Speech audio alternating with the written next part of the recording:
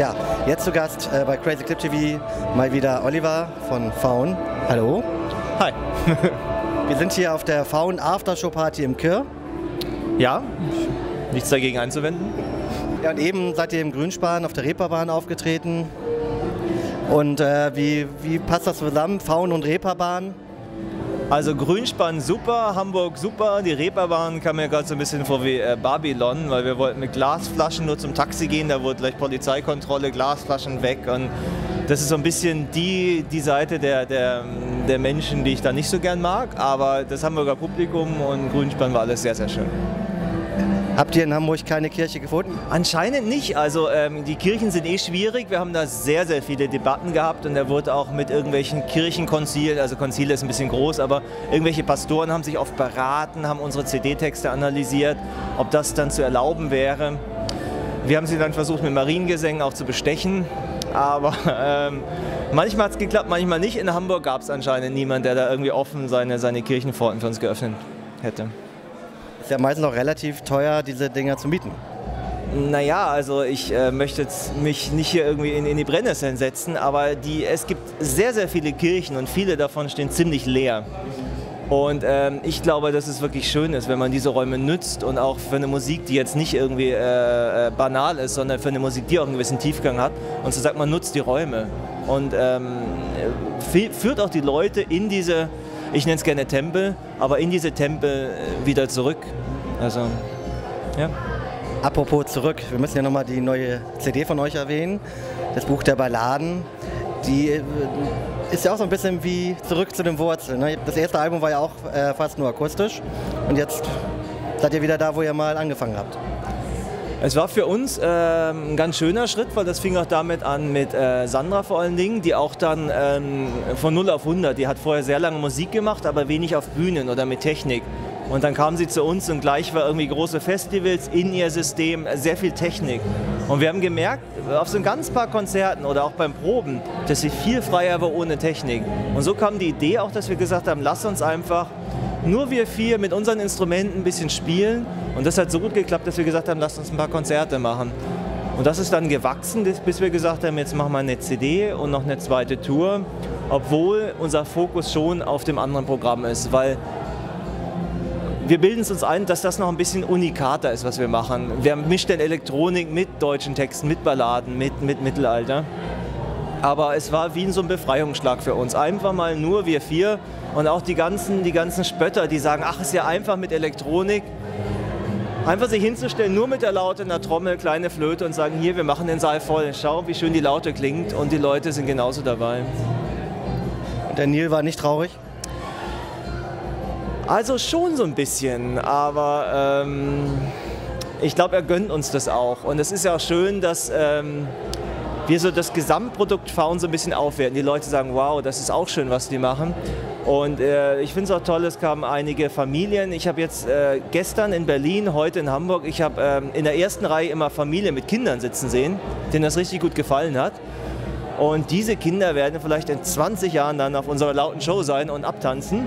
Und ist ja gut, Zukunftsarbeit, sich den Familien zu öffnen und ist alles okay. Wird es ja nochmal so ein richtiges Rockalbum von Faun geben? Nee. Gibt's genug. Erstens, da gibt es viel zu viel auf dieser Welt. Und zweitens, was ich immer, mit wem ich nie klarkam, ist mit einer E-Gitarre. Ich habe meine ganze Jugend hindurch, ich wollte so gern, meine Freunde in Punkbands gespielt und ich hätte so gern ich kam mit den Dingern irgendwie, habe ich es gespielt und nee, ich habe immer akustische Klampfe und das ist halt mein Ding. Also. Ihr seid ja sehr naturverbunden als Band, als Musiker äh, und ihr seid auch im Umweltschutz aktiv. Ja, also Stichwort WWF. Ich, ich habe heute schon ein anderes Interview gegeben, da hieß es dann, es ist so toll, ihr spendet euer ganzes heiliges Holz und sowas und dann gebt ihr das Geld im WDR. Ich habe sie dann nicht verbessert, aber ich fand es richtig geil. Also äh, ja, die WWF-Aktion ist ganz geil, weil ähm, wir mögen das gerne. Ich meine, wir singen teilweise über Geister, über, über Beschwörungen und die meisten Leute haben das verlernt. Also es gibt viele Leute, die schauen sich Horrorfilme an, aber wie man dann die, die Geister oder wie man dann die Angst aus den eigenen Räumen wieder rausbekommt, weiß keiner. Und es gibt also ganz primitive Praktiken und da ist zum Beispiel Räucherung. Und äh, wir selber stehen sehr auf dieses Holz, haben auch Kontakt zu äh, peruanischen Schamanen und haben gesagt, Jungs, schickt uns das. Wir wollen gern das erstens hier publik machen und zweitens die Abholzung der Regenwälder ist so was Trauriges, dass wir dann das Geld eben spenden können und dafür Regenwald retten. Und das ist jetzt eine Aktion, die machen wir auf der äh, Tour momentan. Wollt ihr denn irgendwann auch in Peru mal auftreten oder seid ihr da schon mal aufgetreten? Ähm, Peru ist jetzt, äh, glaube ich, ein Land, was ein bisschen schwierig ist. Aber wir haben Brasilien ist, oder Mexiko ist sehr, sehr aktiv und ich war noch nie da, spreche wirklich kein Wort Spanisch. Aber äh, abgesehen davon, jederzeit und sofort. Ich liebe es zu reisen, Menschen zu treffen und auch andere Kulturen. Und Fiona kann gut Spanisch sprechen, das heißt, sie redet, macht die ganzen Kontakte, wir machen nur Musik und ich würde es sehr genießen. Also. Ihr wart ja auch gerade in Amerika, in Oregon, auf so einem Festival, ja? Und das soll ja auch ein mega Erfolg gewesen sein. Genau, wir waren im äh, Herbst jetzt nochmal an der Ostküste auch und wir werden beides und wahrscheinlich noch ein oder zwei mehr jetzt in äh, 2010 wieder machen. Weil ähm, das ist halt ganz geil. Jeder hat diese Klischees über, über Bush und Amerika und ach, die sind so dumm und die wissen gar nicht, was Europa ist. Und äh, Klischees haben noch nie irgendjemand gut getan. Und wir kamen hin und haben wirklich nur nette Leute getroffen, also sehr alternativ denkende Menschen, auch sehr intelligent und äh, ganz tolle Musiker. Und also Oregon ist zum Beispiel traumhaft, ganz tolle Natur und ähm, von daher ist es für uns toll, den Horizont so weit zu öffnen und gleichzeitig aber auch schön, unsere ähm, Wurzeln, quasi unsere Musik und dieses Mittelalter auch äh, weitergeben zu können. Also die Leute sind auch, ah, was ist eine Bouzouki, was ist eine äh, Nickelharper und die Lieder. Und äh, da entsteht gerade ganz viel, was für uns echt ein sehr tolles Lob ist, wirklich. Wo macht Faun denn Urlaub? Wenn ihr Urlaub habt, macht, machen könnt, zeitlich. Ja, Faun macht natürlich wenig Urlaub. Ähm, der Vorteil unseres Jobs ist äh, das Rumreisen. Wir sind jetzt zum Beispiel im Sommer in, in Norwegen, an, an, in einem, wir spielen in einem Fjord, also in der Mitte vom Nichts. Und das sind zum Beispiel, das ist der Vorteil, man hat eh die Leute, die da wohnen, Ortskundige, und dann werde ich zum Beispiel eine Woche verlängern. Ich werde mir von diesen Norwegern diese Natur da zeigen lassen. Tendenziell mich reizt Skandinavien sehr, aber wie gesagt, wir sind wirklich so sehr am, am Arbeiten und Machen, dass mehr wie ein, zwei Wochen sind gerade nicht drin. Du hast ja auch, wenn du mal mit Frauen nichts zu tun hast, noch viele Nebenprojekte. Sava zum Beispiel. Es ist der Reiz natürlich, weil man hat immer Ideen. Es sind so viele Lieder, die schlummern und die passen jetzt in Faun gerade nicht rein. Aber man, ich habe auch gelernt, ein bisschen realistisch zu sein. Und ähm, einfach, wenn man sich selber übernimmt, dann kann die Qualität nur sinken.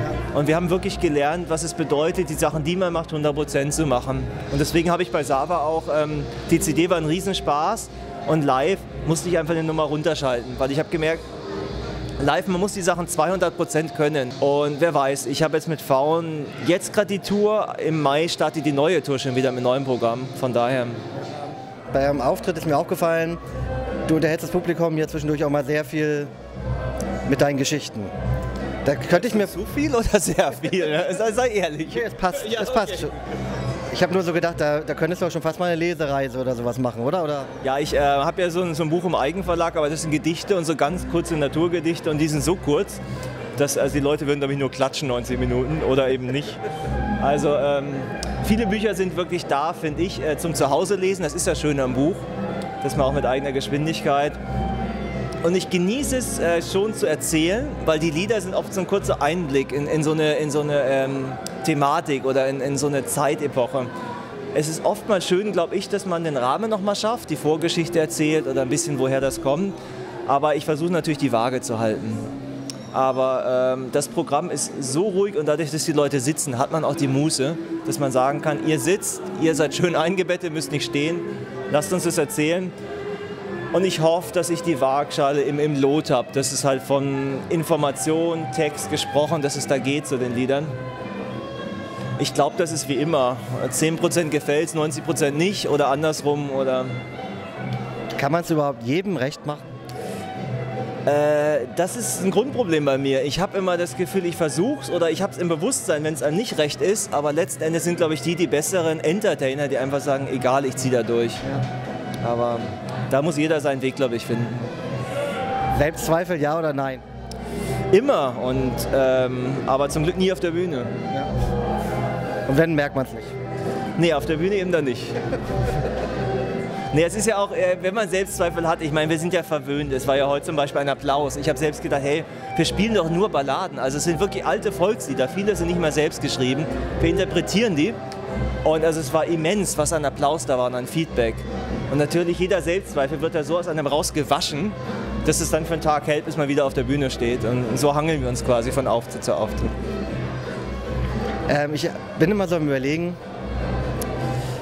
ihr, ihr, greift ja viel auf altes Material zurück. Geht da nicht mal irgendwann das Material aus? Also irgendwann muss doch mal alles erschöpft sein. Es wird ja, es ist ja alles schon Jahrhunderte alt und es wird ja nichts Neues mehr da geschrieben. ja, ähm, Ganz im Gegenteil. Also ähm, erstens sieht man ja an den üblichen Verdächtigen, wie oft man dasselbe Lied spielen kann. Also jetzt Sachen wie das Palästina-Lied, wo jeder Musiker selber, dem, äh, dem biegen sich die Schuhe, aber in die falsche Richtung.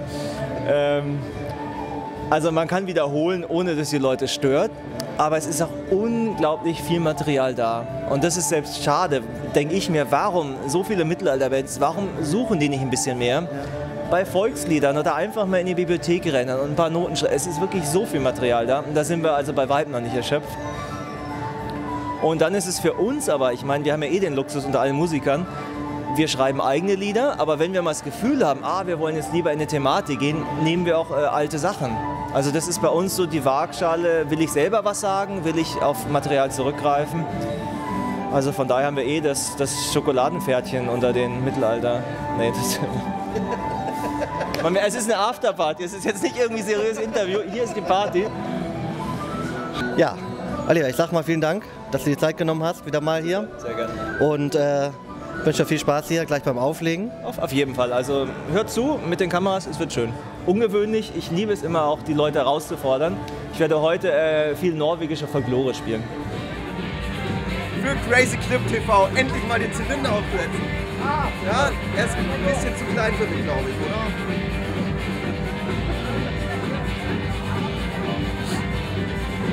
Unabhängig